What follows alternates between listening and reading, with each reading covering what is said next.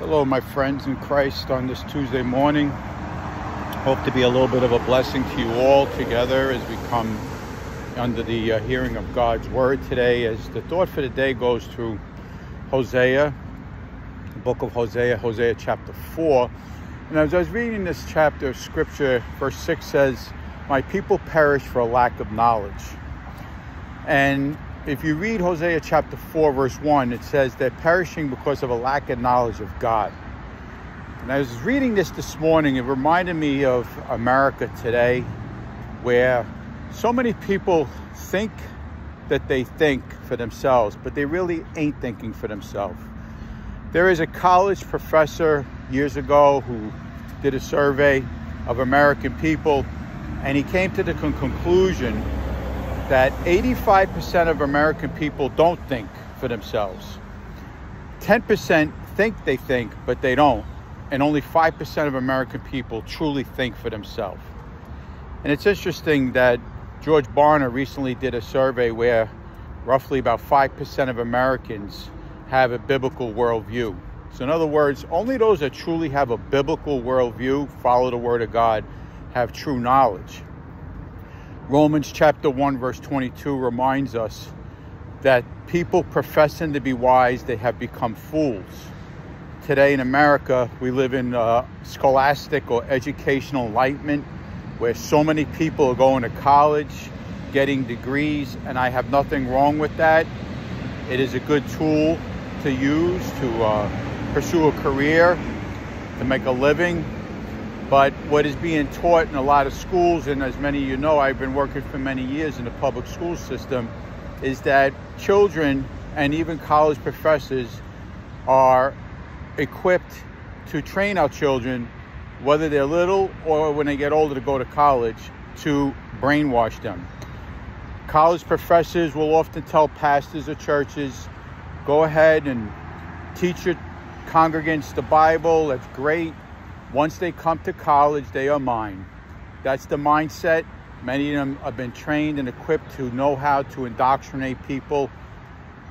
During the 20th century, there were philosophers like jo Joseph Goebbels and Saul Alinsky uh, who used to say, tell a story over and over again on television and you can brainwash low-informed, ignorant people and nothing has changed. As Ecclesiastes chapter 1 verse 9 tells us, there's nothing new under the sun. Some 80, 90 years later, after the dawn and the advent of television, people today are still brainwashed, unfortunately, by watching TV, commentators, letting other people dictate how they are to believe. And these folks on TV have been trained to play a story over and over again to get people brainwashed. You see, your, your mind is like the hamster on the wheel.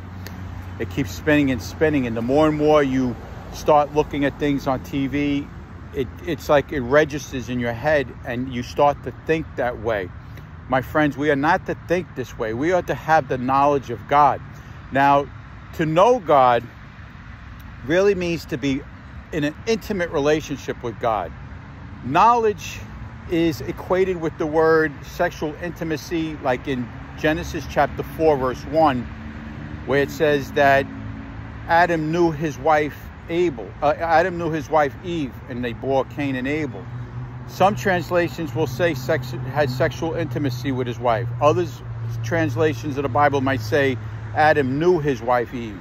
It's basically the same thing. In 1 Corinthians chapter 6, verse 16, the Bible tells us that whenever a man joins himself with a woman, say like a prostitute, he becomes one with her. That is why the Bible tells us in Genesis chapter 2, verse 24, that God created man for woman, that they would leave their husband, that they would leave their, their fathers and mother and become one with their flesh. That is how we ought to be, just as a man and a woman, when they get married and they have intimacy, they become one we too are to become one with God in our knowledge and, and to know God.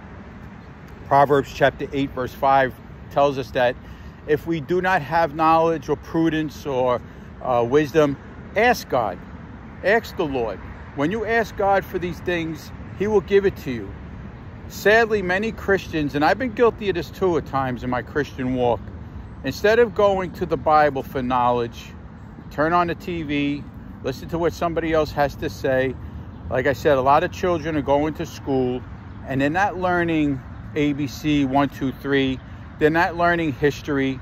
They're not learning math and science. They're being indoctrinated. And it's sad to see it happening.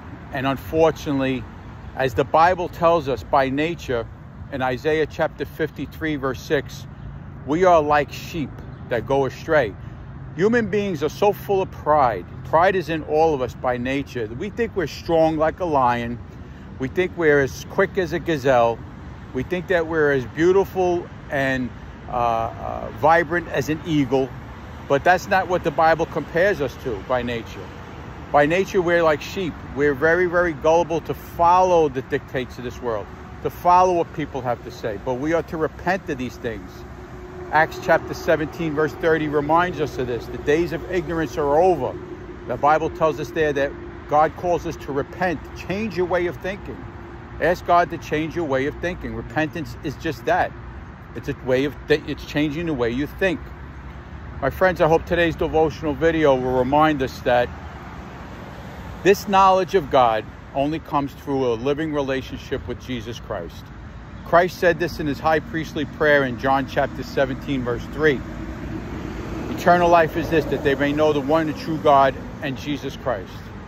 You can't come to know God on your own, in your own strength. You have to come to him humbly through Christ and him alone. Unfortunately, and I'm again, I bring myself into this equation. There's often times where I want to get to know God my own way, my own strength. Now, submit it to the Lord. We're living in a day where many people are professing to be smart and wise. They know it all. You try talking to people today on the economy or politics or sports or whatever it is, they are they are always right and you are always wrong. There's no more communication anymore. I remember when I was a kid, Ronald Reagan was the president of the United States, and he was a very conservative Republican. And the House representative leader was a Democrat liberal by the name of Thomas Tip O'Neill. And they didn't agree on much, but they came together for the better of the country. They would humble themselves. Today, that's out the door.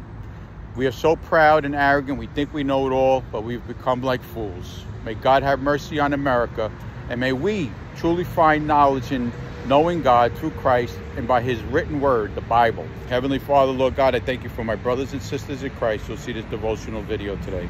May they delve into the word of God. May they dive into the scriptures and truly get to know knowledge and not their newspapers.